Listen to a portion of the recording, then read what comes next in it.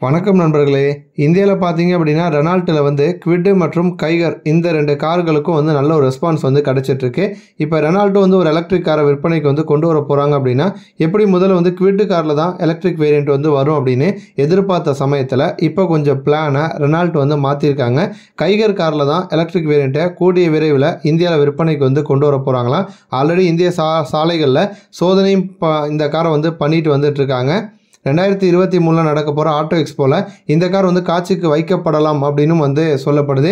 இப்போ இந்த கார் வந்து டிசைன் வைஸ் வந்து எப்படி இருக்கும் அப்படின்னா வெளிப்புறத்தை பொறுத்த வரைக்கும் எப்படி வந்து பெட்ரோல் இன்ஜின் கார் வந்து இருக்குமோ அதே மாதிரி தான் வந்து இருக்க போகுது. இருந்தாலும் எலக்ட்ரிக் கார் அப்படிங்கிறது தனியாக தெரியணும் அப்படிங்கிறதுக்காக சில பேஷ் வந்து இருக்கும்னு வந்து சொல்கிறாங்க அதே மாதிரி ரெனால்ட் லோகோவுக்கு கீழே வந்து சார்ஜ் செய்வதற்கான போர்ட் வந்து கொடுக்க போகிறாங்க உட்புறத்துலேயும் வந்து டிசைன் வந்து பெட்ரோல் காரில் எப்படி இருக்குமோ அதே மாதிரி தான் இருக்க போகுது. அதே நேரம் வந்து வழக்கமாக வந்து கியர் லிவர் இடம்பெறக்கூடிய வாய்ப்பு வந்து இந்த காரில் இல்லை. அதற்கு பதிலாக வந்து டிரைவ் மோட ஸ்விட்ச் வந்து கொடுக்கலாம். இது இல்லாமல் மூணு ஸ்போக்கு ஸ்டியரிங் வீலு மற்றும் டச் ஸ்க்ரீன் இன்ஃபர்டைன்மெண்ட் சிஸ்டம் இந்த வசதிகளும் பார்த்தீங்கன்னா வரப்போகிற எலக்ட்ரிக் காரில் நம்ம வந்து எக்ஸ்பெக்ட் பண்ணலாம். இப்போ இந்த காருடைய ரேஞ்சும் பார்த்தீங்கன்னா அதிகமாக தான் இருக்குது ஒரு முறை ஃபுல் சார்ஜ் பண்ணோன்னா முந்நூறு கிலோமீட்டர் வரைக்கும் பயணம் பண்ணலாம் அப்படிங்கிற மாதிரி சொல்லியிருக்காங்க.